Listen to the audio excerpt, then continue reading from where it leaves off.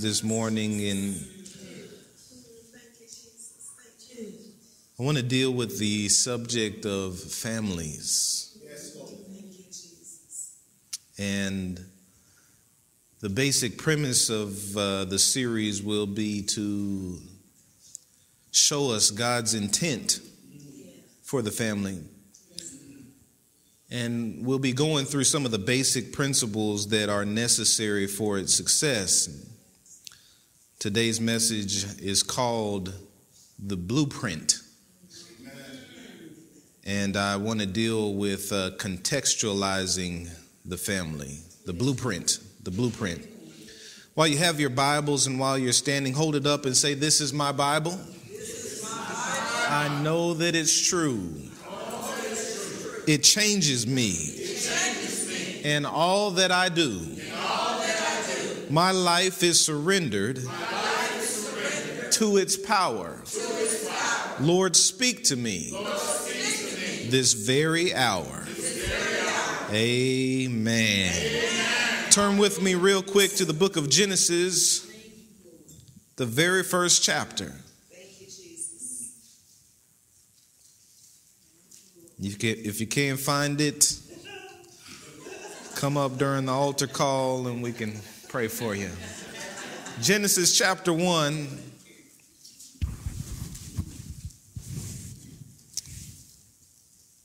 And I want to begin reading at verse 26. If you have to say amen, I'll be reading from the New American Standard Bible. Then God said, Let us make man in our image according to our likeness and let them rule over the fish of the sea and over the birds of the sky and over the cattle and over all the earth and over every creeping thing that creeps on the earth. Verse 27 God created man in his own image. In the image of God, he created him, male and female, he created them. And God blessed them. And God said to them, Be fruitful and multiply and fill the earth and subdue it, and rule over the fish of the sea and over the birds of the sky and over every living thing that God, uh, every living thing that moves on the earth.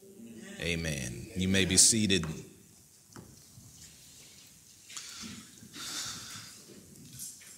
You join me in a word of prayer before we begin. Most gracious Heavenly Father, we come to you in the name of Jesus, thanking you, honoring you, worshiping you as God, our Creator, our Maker. You formed and fashioned us.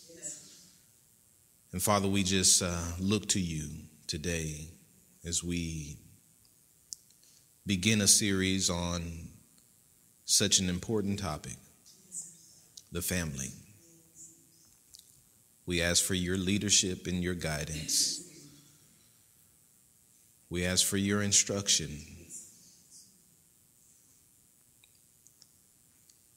Show us, Lord,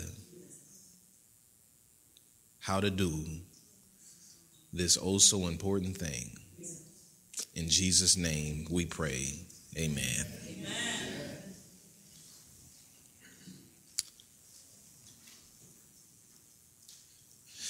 God's plan for what the family is supposed to look like is clearly demonstrated in Genesis. The first and the second chapter. If we go all the way back to the first book of the Bible, beginning with just the first chapter of the first book of the Bible. When we look at the biblical historical account of creation, we see God lay out his intended formula for family success. You see, marriage and family are both God ordained. They're God created institutions.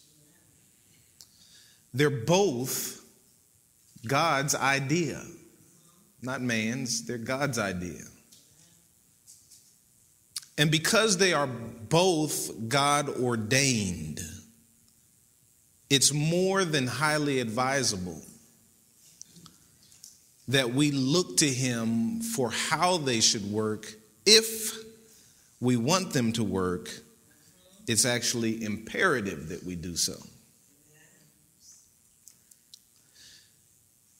You see, this is not only important for the sake of the individual family itself, it's, it's important for the sake of society as well. We're, we're dealing with, I know, a touchy subject. You see, marriage is the bedrock of the family. And the family is the bedrock of the church. But the church is the bedrock of the community. And the community is the bedrock of society. Society then is the bedrock of the nation. So, what's at the baseline? Marriage and family. And what I'm trying to get us to understand is that marriage and family are the framework for everything else. When God wants to begin, he begins here. Genesis chapter 1, he begins here. The first order of business after creating the heavens and the earth was the establishment of the family. It's the first thing God gets to. So we live in a time today when when people want to define marriage and family in their own way. But as a Christian, we're called to maintain the conditions for marriage and family as laid out by the Bible. Because anytime we deviate from God's intended purpose, things fall apart. Anytime and every time. And it's no different when it comes to marriage and family. So I want to look at how God says all of this is supposed to work. It's, it's important to me. I, I hope that it's important to you. Uh, this subject of dealing with families. But I want to preface this series by saying that as we continue, you may notice some things that can and cannot be changed at this stage in your life. There are some things that Sam and I can't go back and change as parents, me as her husband, and she as my wife. There are some days that we can't go back and get as it relates to uh, raising our children. And that's just the reality of it. But there are some things that we can change. And I want to challenge you this, this morning and as this series goes on to, to focus on what can be changed and not to dwell on what cannot be changed. See, the purpose of this series is, is not to beat us up. The purpose of this series is not to beat us down. The purpose of this series is to build us up, Amen. to strengthen us for the days to come. Amen? Amen? Now, it's important to understand this that marriage, the foundation of the family, works best God's way. It works best God's way. But it only works God's way when God is involved. It works best God's way, but it only works God's way when God is involved. In Genesis chapter 2, we see a more detailed account of what God had done in Genesis chapter 1, verse 27. So it's like a telescopic view of verse 27. when he created them male and female in his image. And I want to show you how God laid out as a basis for the family the union between the man and the woman in marriage. We're talking about the basic biblical blueprint. In Genesis chapter 2, verse 7, the scripture says, Then the Lord God formed man of dust from the ground and breathed into his nostrils the breath of life, and man became a living being. And Adam was there with God all alone. He was the only human at that time. Then the Lord God took the man and put him into the Garden of Eden to cultivate it and keep it. The Lord God commanded the man, saying, From any tree of the garden you may eat freely, but from the tree of the knowledge of good and evil you shall not eat, for in the day that you eat from it you will surely die. Now, this is an account of Adam's life before the introduction of Eve. This is an account of Adam's life before Eve is introduced. So when we look at this, we're looking at Adam as a single. He's still a single man. Before he got married. And what you'll notice is that before Adam was hooked up with Eve, before God hooked Adam up with his wife, he first hooked Adam up with himself. See, some of us are trying to add step two without having step one in place. Before you're ready for her, it's imperative that you be connected to him. And we see that he not only had a relationship with God that predated his relationship with Eve, the second thing that he had before marriage was verse 15 a job.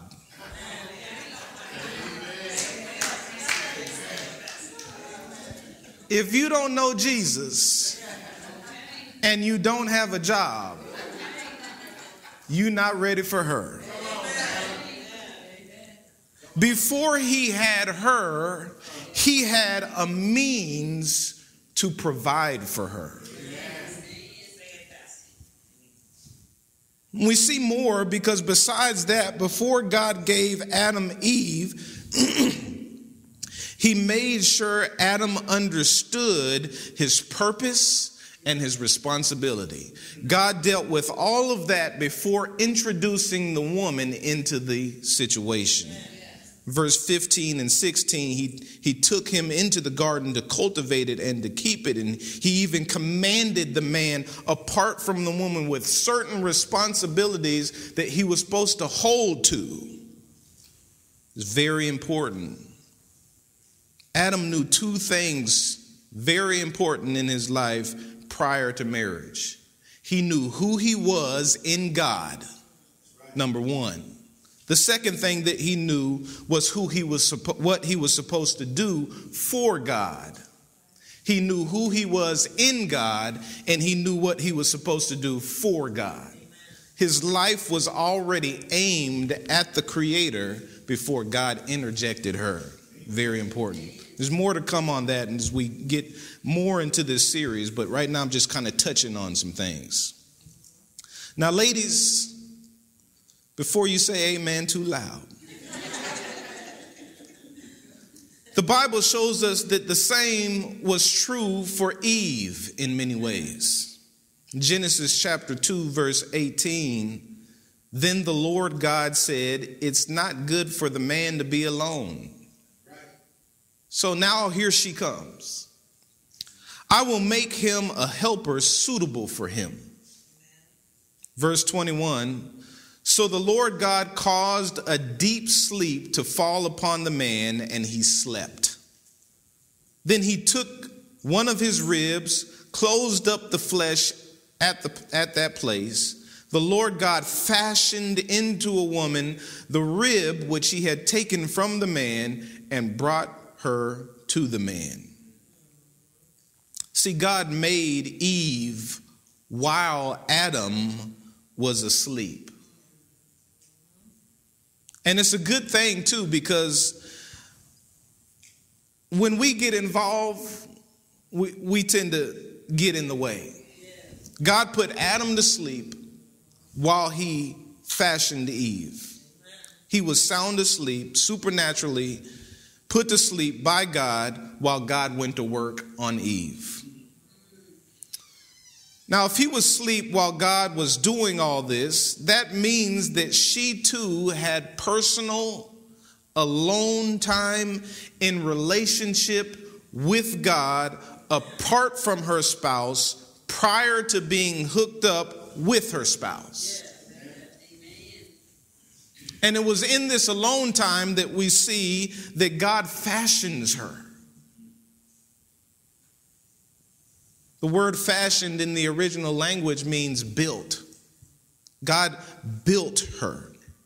See, the Bible says that Adam was formed, that's one Hebrew word, but Eve was fashioned. There are two different words for how God made each one. One was from the dust, and the other one was from the bone. One was formed, one was fashioned. And that's why we are different in so many ways. God made us this way. We, we are, there are biological differences within the man and the woman. And see, God had to uh, be allowed to work on the husband and the wife individually because they had unique identities, they had unique needs, they had unique purpose. And it's very important that when we're talking about the union of marriage, that we both come to the marriage with a baseline of having an individual relationship with Jesus Christ in which he has already been at work shaping you, making you. And that's what God did. He got Adam alone and formed him. He got Eve alone and fashioned her. Then, when he was done with them as singles, what did he do? Now he says, You're ready to mingle. When God gets finished dealing with them as singles, then he introduces them to begin to mingle. See, when a, a, submissive relationship to God is at the basis of the relationship of the couple, the couple has the main ingredient in place to build a successful marriage and family. But when the couple doesn't have a submissive relationship, and I emphasize a submissive relationship with God, it's not just enough to know God, it's not just enough to be saved. It's about surrendering to Him in that relationship. When you have individuals that are first surrendered to God, surrendered to His Word, surrendered to His teachings, surrendered to what He shows us and how He shows us that we ought to live. That's the baseline, that's the main ingredient for building a successful relationship. And when that's there, the key component is in place. See, both man and woman having their lives surrendered to Jesus Christ in a loving relationship in which He is both Lord and Savior is at the heart of every home run. Our lives surrendered to God as the parents is at the heart of every home run. So if you're here this morning and you're single, I want to challenge you to make sure you're mingling with God before you try to mingle with Him or mingle with her. If you're already married, but God is not first in your life, I want to challenge you to make haste to make that change. See, if we will allow Him, God can take our relationship with our spouse and our family to the next level. His teaching and His principles, His biblical foundation, this biblical blueprint will bless your relationship if you first surrender to Him and what He has to say about it. And perhaps you're married and you know Christ already as Savior. But I want to challenge you to go deeper than just knowing Him as your Savior. I want to challenge you to go deeper and to know Him as Lord. It's not just an, about an occasional hi and bye to God when we need Him. See, the type of relationship that's described, I believe, in Genesis is richer than that. It was a, an everyday commitment in fellowship, which allowed God to shape how they lived, how they walked, how they talked, how they did everyday activities. God leads the man into the garden. He takes him and places him there. That's a life surrendered to the power of God. We need more than to know Jesus as our Savior. We need to know Him as our Lord. We have to know Him in the sense that we are willing to follow what He has to say with regards to every situation. That's the type of submissive relationship to God that is the main ingredient to build a successful marriage and family. Now, out of an obedient and submissive relationship with God on a personal level, first and foremost, God then, not before, brings them together as husband and wife. We see God exercising tremendous order as he does this thing. When you look at the specifics and the details of how God laid it all out, it's amazing. He he considered it all. And and if you just follow his trail, you see how he puts it together in pieces in such a way that if we will follow his description, our lives would be blessed. Genesis chapter 2 verse 22 the Lord God fashioned into a woman the rib which he had taken from the man, and then he brought her to the man. Here is the union of marriage, God joining the two together. He brings them together in his time and in his way when he feels that they are ready. The man said, This is now bone of my bones and flesh of my flesh. She shall be called woman because she has been taken out of man. For this reason, a man shall leave his father and his mother and be joined to his wife, and they shall become one flesh. There's the institution that was perpetuated right there for this reason. Not just speaking about Adam and Eve because Adam and Eve didn't have parents, it's the institution that's set in place from this point on as to what marriage is about.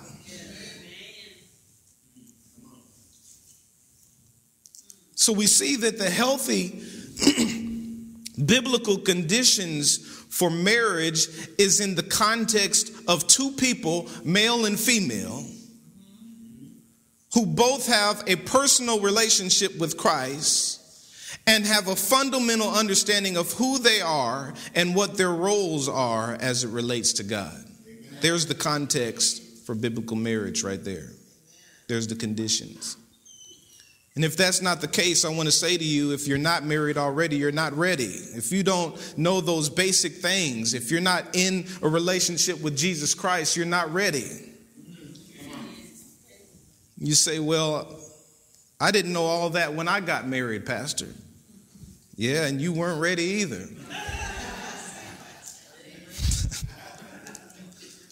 God's grace has helped us. Amen.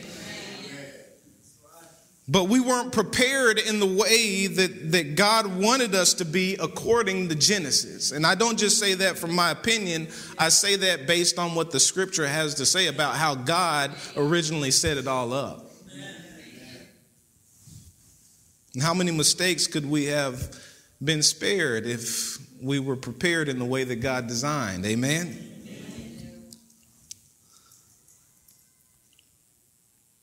So now that all that's established, we can go on to the next component here. God then adds the next component, which is children. And before we go forward, I want to go back a little bit. Genesis chapter 1. We were just in Genesis chapter 2. Let's go back to Genesis chapter 1, verse 27. God created man in his own image. In the image of God, he created him. Male and female, he created them. God blessed them, and God said to them, Be fruitful and multiply, and fill the earth and subdue it. So, all that we just covered in chapter 2 is a more detailed description of Genesis chapter 1, verse 27. It's like a, it's like an, an uh, uh, a microscope honing in and centralizing on verse 27. It's a microscopic view of this verse, a closer examination of verse 27. But now I want to move on to verse 28. After he had created them and brought them together, the scripture says that he blessed them and commanded them to be fruitful and to multiply. That is to say, that God then gave Adam and Eve the green light. He gave Adam and Eve the green light on the red light, special. If you follow my drift. Some of y'all just caught it.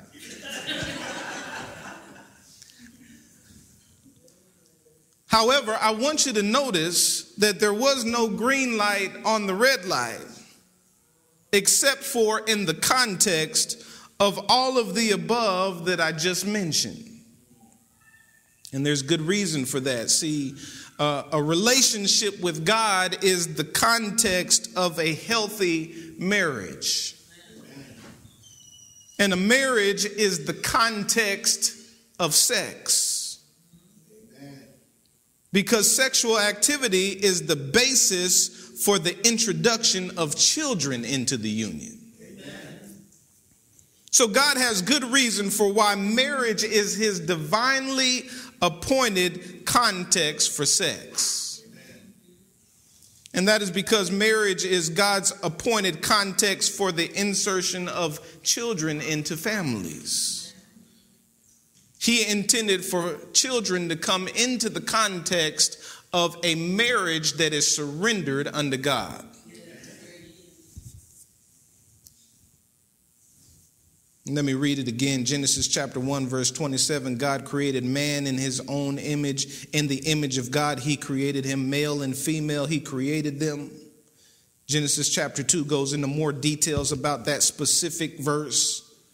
And then God blessed them, and God said to them, Be fruitful and multiply and fill the earth and subdue it. See, God's plan for the structure of the family is simple one man of God, one woman of God and out of that holy union, and in this context, sexual intercourse that will lead to fruitfulness, which is the procreation of human children.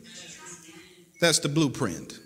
Those are the basic bones of God's divine intent for the construct of the family. One man with one woman multiplying themselves two people producing a single child, which is the fullest manifestation of the two becoming one flesh. And all of that is set in the context of marriage. Now, I want to emphasize something that you may not have thought about before.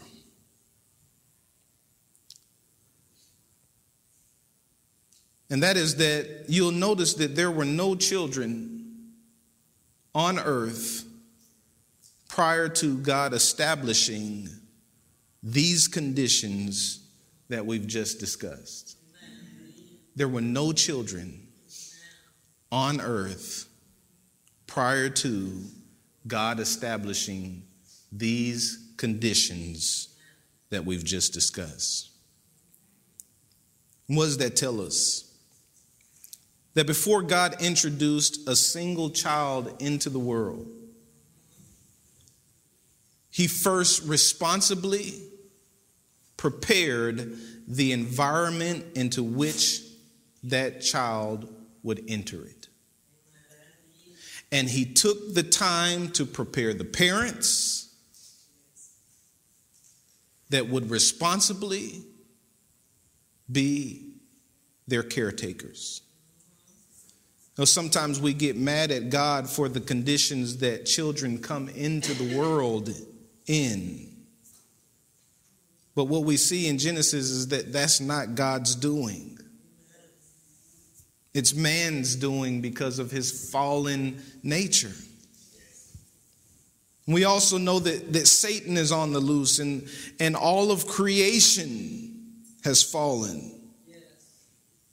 These ideal conditions are, are changed, and we have the introduction of sickness, and we have the introduction of problems, and we have the introduction of pain as a result of Adam and Eve breaking the boundary that God had established for humanity. But we see God's original intent in Genesis and his his, his intent was that children would, be come, would come into this blessed union.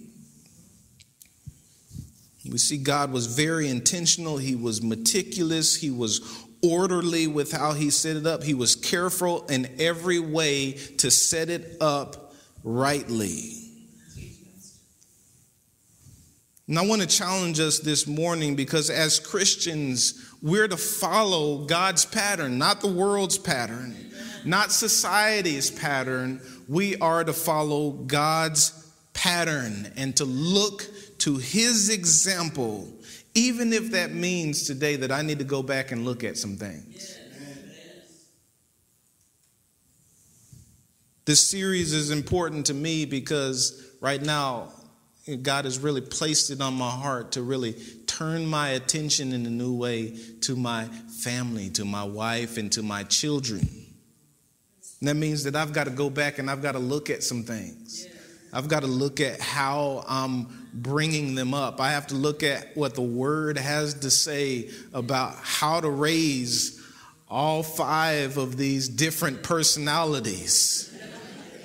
And if you're like me, you've realized as a parent, if you are a parent, that this is very challenging work. I mean, we need God's instruction on how to carry this out. We need to look to the Bible, and, and the Bible actually has a lot to say about the subject if we will just look closely.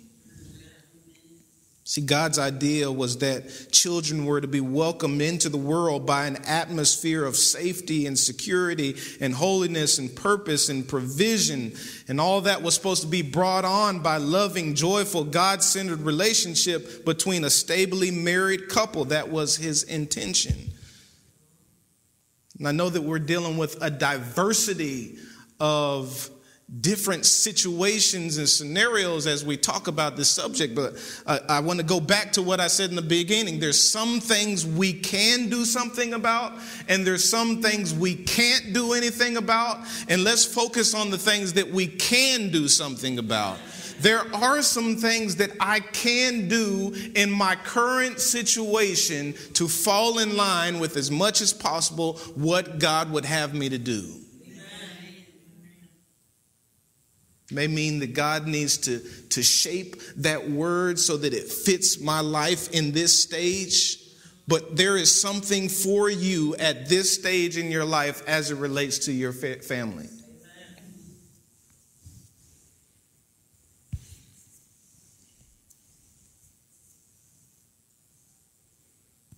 But God's intent was for these helpless little individuals to be ushered into this world from the incubation of their mother's womb to the incubation of love, care, wisdom, maturity, provision, understanding, and tenderness, the tenderness of the two God fearing and worshiping married adults. And again, I understand that some of us are already past the point of thinking about creating a healthy environment before having children. You're like, Pastor, my kid's grown.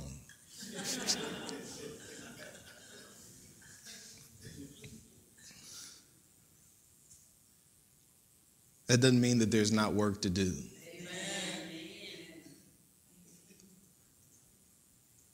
Your children need you in every stage.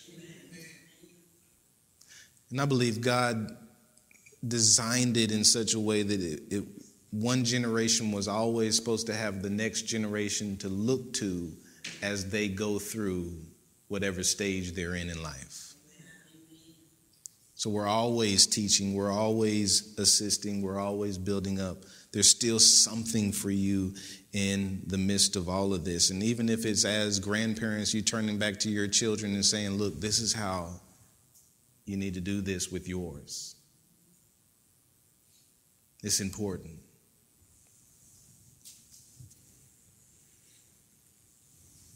We need to do our best regardless of our past situations. We need to do our best regardless of the situation that we're in. We may not be able to fix everything, but there's some things that we can work on.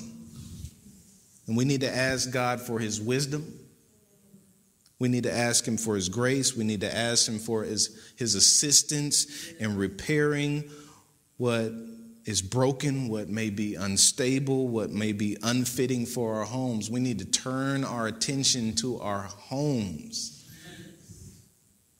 I believe that this is one of the greatest ministries that God has given us to do. I was sitting at the dinner table the other day and I was sharing with my kids just the message of the cross and watching them respond to the message of the cross. How can I share Jesus with everyone else but the people who I sit at the dinner table with?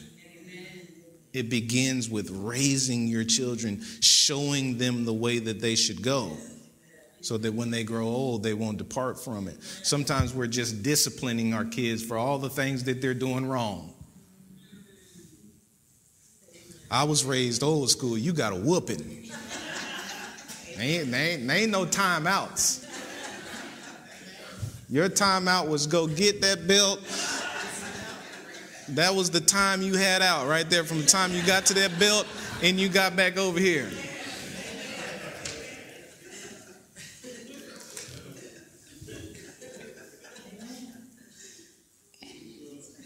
And then I got passed to the next parent and had to do it all over again.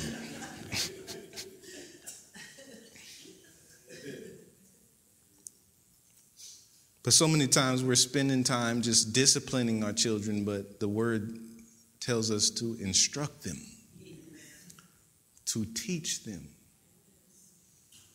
They need to be guided and shown the way. You have to sit them down and have conversations with them to show them the expectation. And what better way to do that than to open up the book and the authority of God's word and say, This is what God's expectation is for us? You begin by leading them to the Lord first. Amen. But whatever the, the situation may be, again, this is not to beat us up, this is to build us up and to prepare us for the days to come. We'll be getting into this a little bit more as the days come, but today I just wanted to show you the basic blueprint of what God has laid out for the context of family. Amen? I want everybody to stand to their feet.